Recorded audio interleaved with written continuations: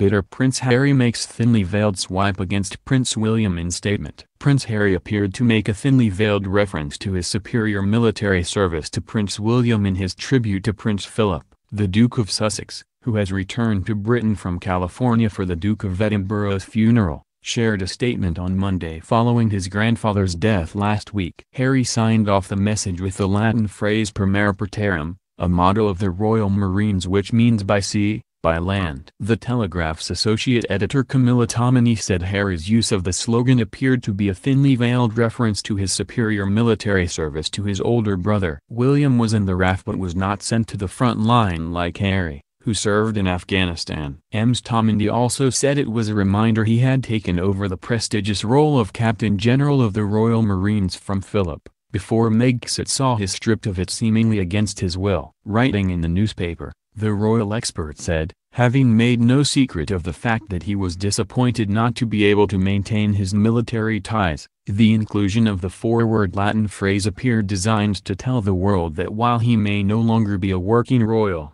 like his grandfather he will forever remain one who saw active service. Philip, who died peacefully aged 99 at Windsor Castle on Friday, had the title for 64 years before it was passed on to Harry in 2017.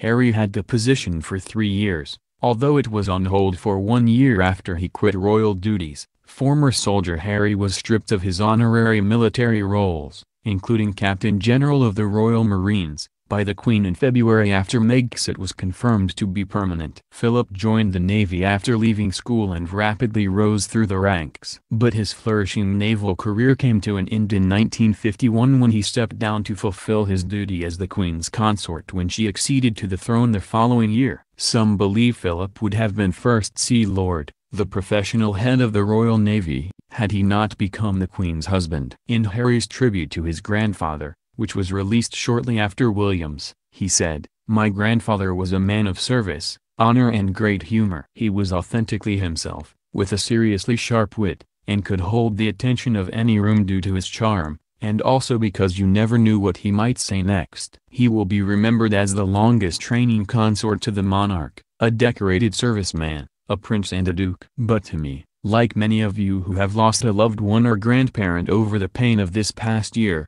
he was my grandpa, master of the barbecue, legend of banter, and cheeky right till the end. He has been a rock for Her Majesty the Queen with unparalleled devotion, by her side for 73 years of marriage, and while I could go on, I know that right now he would say to all of us, beer in hand, oh do get on with it. So, on that note, Grandpa, thank you for your service, your dedication to Granny, and for always being yourself. You will be sorely missed but always remembered, by the nation and the world. Meghan, Archie, and I, as well as your future great-granddaughter, will always hold a special place for you in our hearts. Per mare, per terram. Harry is staying at his and Meghan's former home, Frogmore Cottage in Windsor, after traveling back from America. Pregnant Meghan is staying in California with their son Archie after being advised against flying.